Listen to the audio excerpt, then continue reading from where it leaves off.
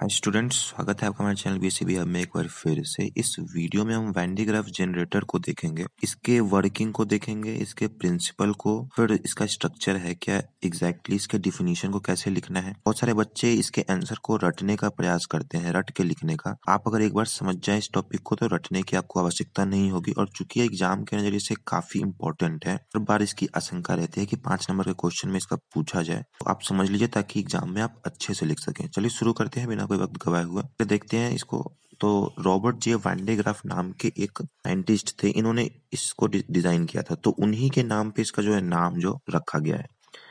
ये अगर हमसे पूछा जाए कि वैंडेग्राफ जनरेटर एग्जैक्टली है क्या तो ये एक इलेक्ट्रोस्टैटिक जनरेटर है जो कि क्या करता है तो क्षमता रखता है ह्यूज अमाउंट में स्टैटिक इलेक्ट्रिसिटी पोटेंशियल को प्रोड्यूस करने का।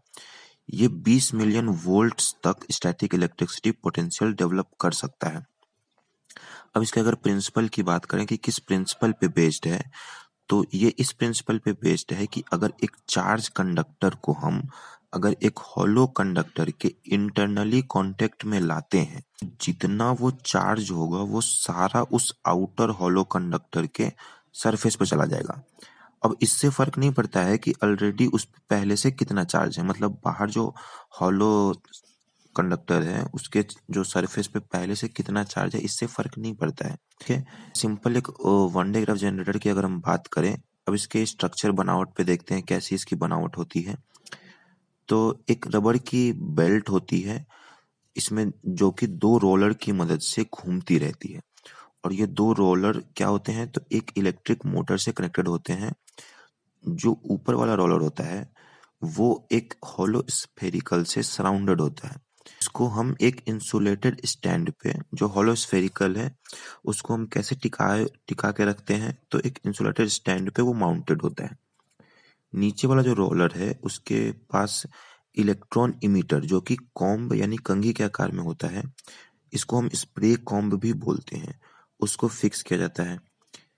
इस कॉम्ब में हाई पॉजिटिव वोल्टेज हम प्रोवाइड करते हैं एक्सटर्नल सप्लाई से। एक्सटर्नल सप्लाई का क्या मतलब है? तो बैटरी हो सकती है एक्सटर्नल सप्लाई दूसरा कॉम्ब जो होता है, जिसको रिसीवर बोलते हैं, नीचे वाले कॉम्ब को हम इलेक्ट्रॉनिमीटर और ऊपर वाले कॉम्ब को रिसीवर बोलते हैं। ये सिंपल सा सेटअप होता है वेंडेग्राफ जनरेटर का। तो अब चलते हैं इसकी वर्किंग पे कि ये काम कैसे करता है।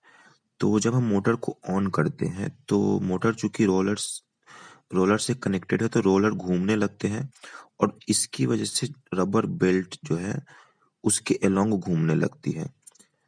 जो कॉम्ब नीचे वाले रोलर की तरफ़ प्लेस्ड होता है, जिसको हाई पॉजिटिव चार्ज हम एक्सटर्नल सप्लाई से प्रोवाइड कर रहे होते हैं, ये क्या करता है? तो ये सारे पॉजिटिव चार्ज को उस बेल्ट पे ट्रांसफ़र करता है।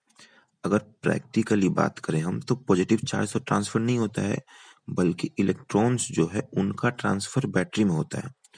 और चूँकि बैटरी का एक एंड अर्थ में होता है तो जितने वो इलेक्ट्रॉन्स होते हैं, वो ग्राउंड में डायरेक्टली ट्रांसफ़र हो जाते हैं।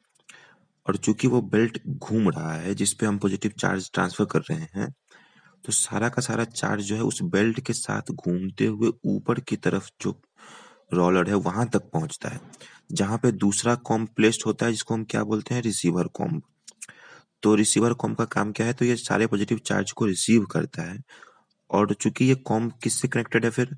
तो हॉलो कंडक्टर से कनेक्टेड है, जो स्फेयर हॉलो कंडक्टर स्फेयर है, उससे कनेक्टेड होता है। तो इसके थ्रू क्या होता है? सारा चार्ज उस हॉलो कंडक्टर के आउटर सरफेस पे ट्रांसफ़र हो जाता है। अब यही प्रोसेस कंटिन्यू चलते रहती है तो क्या होता है कि बहुत ह्यूज अमाउंट में चार्ज जो है वो आउटर हॉलो स्फेयर पे कलेक्ट हो जाता है और बहुत ज़्यादा पोटेंशियल डेवलप हो जाती है। तो सरफेस जो है उसके लिए ये मुश्किल हो जाता है कि इतने सारे चार्जेस को होल्ड करना। बिकॉज़ क्यों मुश्किल हो जाता है इतने सारे चार्ज को होल्ड करना? तो because of constant repulsion between like charges समान चार्जेज के बीच में कॉन्स्टेंट रिपल्सन होते रहती है। इसकी वजह से जो स्पेरिकल डोम है, उसके आउटर सरफेस को, इतने सारे पोटेंशियल को होल्ड करना मुश्किल हो जाता है। तो जब पोटेंशियल इस सरफेस का ब्रेकडाउन वैल्यू ऑफ़ एयर से ऊपर चला जाता है तो लीकेज ऑफ़ चार्ज होती है और आसपास की हवा जो है, वो आयोनाइज हो जाती है। ये लीकेज ऑफ़ चार्ज को रोकने के लिए हम क्या करते हैं तो आउटर डोम को हॉलो स्फेयर को, उसके आउटर सरफेस को काफ़ी स्मूथ बना देते हैं। तो आशा करते हैं, आप इसको अच्छे से समझ में आ गया होगा और आप एग्ज़ाम में लिख सकते हैं इसका आंसर। आप कमेंट में बताइए कि नेक्स्ट हम कौन सा टॉपिक कवर करें इस तरह से, ताकि आपको आसानी हो से समझने में। चैनल को सब्सक्राइब कर लीजिए और इस वीडियो को लाइक कीजिए अगर आपको पसंद आया हो तो। धन्यवाद।